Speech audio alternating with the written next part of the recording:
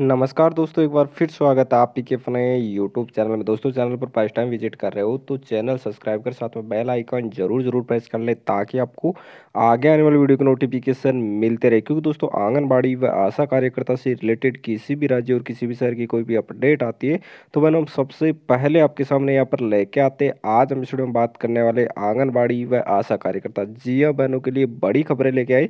तीन अप्रैल 2020 की वो बड़ी खबरें, एक अप्रैल से जो आपका बढ़ाव मानदे आना शुरू हुआ है, वो कौन कौन से राज्यों का है, आ चुका है और कौन कौन से राज्यों का है, वो अप्रैल माह में आने की बात है। साथ में बहन इस बार जागरूकता रैलियाँ करने वाले सभी राज्यों की जो मानदेय सूची है, उसके बारे में भी इस वीडियो में आज हम बात करने वाले हैं। तो बने ये वीडियो आपके लिए बहुत महत्वपूर्ण साबित होने वाला आप वीडियो के अंत तक आप ज़रूर बने रहिएगा। साथ में वीडियो लाइक ज़रूर कर दे और चैनल पर आप नहीं हो तो चैनल भी ज़रूर ज़रूर सब्सक्राइब कर लीजिएगा। साथ में बेल आइकन भी प्रेस कर ले ताकि आपको आगे आने वाली आंगनबाड़ी व आशा कार्यकर्ता से रिलेटेड है। वो हर प्रकार की अपडेट आप तक सबसे पहले पहुँचती रहे।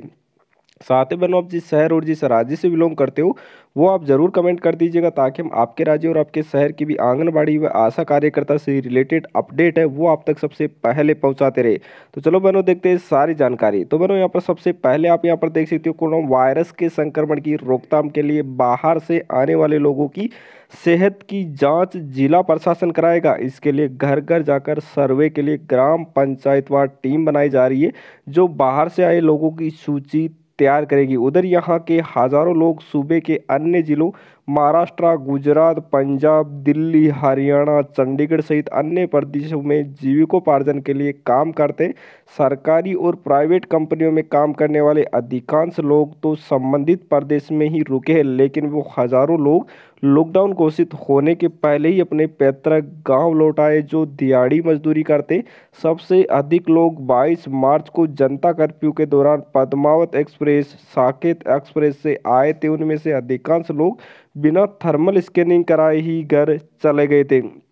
गैर प्रांत और गैर जनपदों से जो लोग आए, स्वास्थ्य महकमा उनकी जाँच नहीं कर रहा है ऐसे में बाहर से आए लोगों को चिन्हित करने के लिए डीएम ने ग्राम पंचायतवार राजस्व लेखपाल, ग्राम पंचायत अधिकारी, आंगनबाड़ी व आशा कार्यकर्ता, ग्राम रोज़गार सेवकों की टीम बनाने के निर्देश दिए। यह टीम घर घर जाकर बाहर से आए लोगों की सूची तैयार करने के साथ ही उनमें बीमारी के लक्षण जैसे कि जुकाम, काशी, बुखार, सांस फूलने की जानकारी नोट करेगी। सूची तैयार करने के बाद संदिग्ध व्यक्तियों का स्वास्थ्य परीक्षण टीम भेजकर सीएमओ कराएँगे। इधर कोरोना से जंग में सेविकाओं व आशा ने कसी कमर। पूरी बात करें तो यहाँ पर आप देख सकते हो, राज्य सरकार व स्वास्थ्य विभाग कोरोना वायरस के संक्रमण से जन समुदाय को बचाने के लिए हर स्तर पर प्रयास कर रही है। स्वास्थ्य विभाग और समेकित बाल विकास विभाग संयुक्त रूप से गाँव एवं पंचायत स्तर पर समुदाय में स्वच्छता के महत्व, सामाजिक दूरी रखने की ज़रूरत का प्रचार एवं बाहर से आने वाली लोगों पर नज़र रख रही है। इनमें आंगनबाड़ी सेविकाओं, आशा कार्यकर्ताओं, अभूतपूर्व मेहनत का प्रदर्शन किया। इस संबंध में आईसीडीएस के डीपीओ शशिकांत पासवान ने बताया कि सामूहिक प्रयास एवं जागरूकता से इस महामारी के खतरे से निपटा जा सकता है। इसके लिए अपने छोटे से स्तर पर इसके लिए जो भी मेहनत करना पड़े उससे किसी को पीछे नहीं हटना चाहिए। इसी तरह से वायरस के खतरे से लड़ा जा सकता है।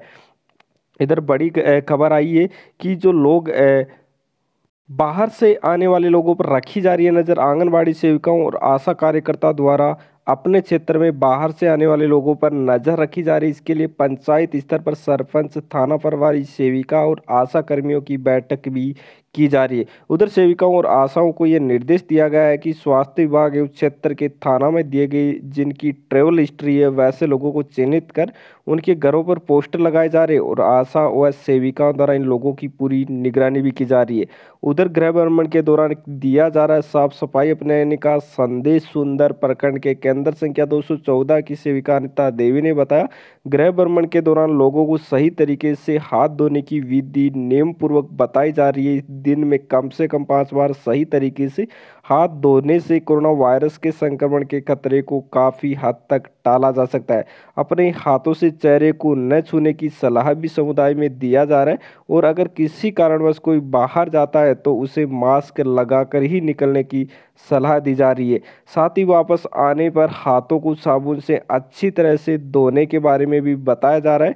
गृह भ्रमण के दौरान इसमें पुरुषों की भी भागीदारी सुनिश्चित की जा रही है। तो बहनों, ये थी मेरे द्वारा दी गई छोटी सी जानकारी। आशा करता हूँ बहनों मेरे द्वारा दी गई जानकारी आपको अच्छी लगी होगी। अगर अच्छी लगी तो वीडियो लाइक ज़रूर करते हो। चैनल पर आप नहीं हो तो चैनल भी ज़रूर ज़रूर सब्सक्राइब कर लीजिएगा। साथ में बेल आइकन भी प्रेस कर ले ताकि आपको आगे आने वाली आंगनबाड़ी व आशा कार्यकर्ता से रिलेटेड हर प्रकार के अपडेट आप तक सबसे पहले पहुँचते रहे। तो बनो, इस वीडियो में इतना ही। मिलते नेक्स्ट वीडियो में। तब तक के लिए जय हिंद, जय भारत।